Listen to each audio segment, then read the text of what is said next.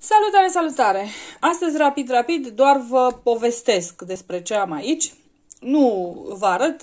Considerați că e un fel de rețetă scrisă, să zicem așa, pentru că au pus ciupercile astea în două zile diverse și nu am avut timp să filmez. Bun, vreau să vă spun cum pun eu uh, ciupercile la borcan pe iarnă. Nu îmi plac foarte tare puse în uh, congelator, nici nu am uh, spațiu în congelator pentru că eu tai porc și uh, asta ocupă foarte mult spațiu și mai pun, bineînțeles, uh, fructe sau alte, alte nebunii uh, și atunci nu am spațiu. Am avut aici niște gălbiori. Sunt ciupercile acelea galbene de pădure. Uh, este sezonul lor, sunt din abundență, gălbiori și aici am iuțari sau bureți iuți, bureți lăptoși. Uh, gălbiorii, gălbiorii am cumpărat, mi-a adunat cineva, bureții iuți am adunat noi, pentru că se găsesc uh, din abundență și mie îmi plac foarte tare. Aici sunt gălbiori în sare, gălbiori în sare și oțet și uh, bureții iuți puși în uh, puși la murat. Practic o să fie uh, niște ciuperci murate, la fel ca și castraveciorii murați. Cum am făcut? În primul și în primul rând, ciupercile eu le opăresc. Le pun în apă uh, fierbinte și anume uh, 15-20 de minute de când a început să clocotească. De când au început ciupercile să clocotească. Le scurg și le așez, le scurg, le pun într-o sită, cât de cât se lasă surplusul de apă și le pun în borcane. Acopăr cu apă, deci mă refer la astea două. Asta e un pic mai diversă, da? Uh, pun gălbiorii în borcane, aici am câte o jumătate de aspirină, știți că eu pun foarte des la conservele mele aspirină și pun foarte des la conservele mele aspirină pentru că nu suntem uh, alergici la aspirină și considerăm că o aspirină pe zi uh, diminuează riscul de accident vascular cerebral și de infarct. Bun, sărind peste, cine nu vrea să pună aspirină, poate să nu pună deloc aspirină și fără aspirină sunt ok. La ăsta mic, deci sunt doar uh, ciupercile opărite și puse în borcan. La ăsta mic am pus o jumătate de aspirină, eu, o linguriță de sare și o linguriță de oțet. Se și vede că au oricum o culoare diversă ăștia față de ăștia. Nu știu dacă la neonul meu din bucătărie se vede ceva, dar sunt diversi. Deci, borcan de 370-400 de mililitri pe acolo, o linguriță de sare și o linguriță de oțet. Atât, nimic altceva, fără... A, da, i-am pus și o foaie de dafin.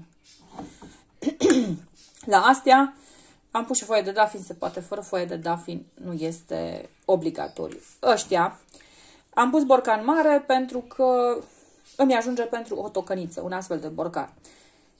La borcanul mare, o linguriță cu vârf, de data asta, asta e linguriță rasă, asta cu linguriță cu vârf de sare și o linguriță de oțet și o aspirină întreagă, borcan de 800 de mililitri. Nu este nici foarte multă sare, uh, oricum eu în tocăniță nu mai adaug altă sare, nu pun vegeta din comerț și așa mai departe, în așa fel încât, uh, dacă eu întotdeauna scurg apa, clătesc ciupercile și uh, clătesc ciupercile și le pun în uh, ceapa călită și fac uh, tocănița. Astea, uh, gălbiorii în sare și oțet, tot așa o să îi uh, scurg, o să îi clătesc și pot fi folosiți uh, ca o salată cu maioneză, o salată cu cartofi, maioneză și ciuperci. Sunt extraordinar de buni. Și acum trecem la murătură. Așa. Sunt bureții iuți, bureții lăptoși, e plin de ei în perioada asta. Uh, multă lume nu îi adoră, mie îmi plac, eu am făcut și ieri pane au fost delicioși și panei și prăjiți uh, cu brânză deasupra sunt absolut, absolut fantastici. Bureții mei, uh, cum se deosebesc? Că curge un lapte din ei. Sunt uh, niște ciuperci albe din care curge lapte în momentul în care i-ați rupt. Tot așa, fierți înainte. Așa, avem și un copil pe lângă care și ea vrea să filmeze. Bureții opăriți. Opăriți înainte. Vă dați seama cât de bine ne înțelegem noi. Bureții iuții am opărit înainte, în apă, fără sare, fără nimic și i-am pus uh, în borcane, inclusiv codițele, pentru că au fost foarte cruzi. I-am pus o uh, frunză de pătrunjel, puteți să puneți de țelină, puteți să puneți ce frunză doriți, uh, câteva boabe de piper și câteva boabe de muștar, tot așa o linguriță cu vârf de sare și o linguriță de oțet. Apă să-i acopere și capac. Bun. Identic pentru toate trei este faptul că uh, le-am pus la uh, dunsulit.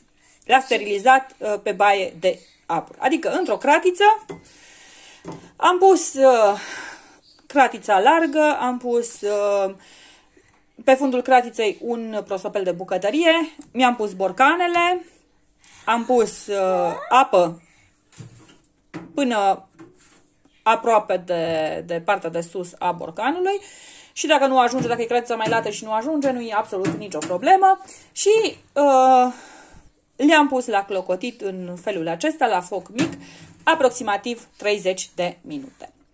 Și avem uh, minunățile astea care stau extrem de bine toată iarna.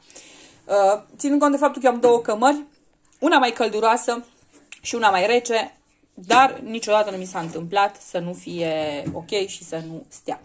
Asta nu are aspirină. Asta este pe pus, pus pe sistemul murăturilor.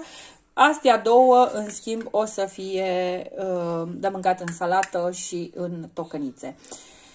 Cam asta este toată um, explicația alături de un copil care m-a prins că filmez și a apărut repede, repede și ea. Sper că ați înțeles.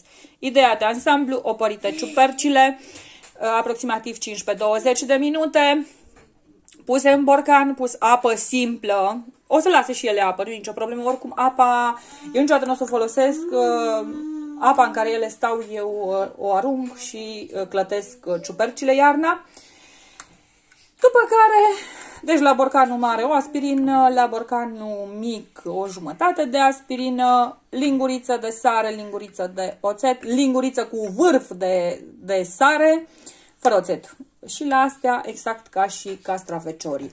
Puteți să puneți, dacă aveți rețetă de castraveciori bulgărești, în aceeași fel puteți să puneți uh, iuțarii, uh, puteți să puneți ceapă, puteți să puneți usturoi, Uh, identic cum faceți uh, castraveciorii bulgărești. Fiecare după cât de acru uh, sau de sărat își dorește să fie.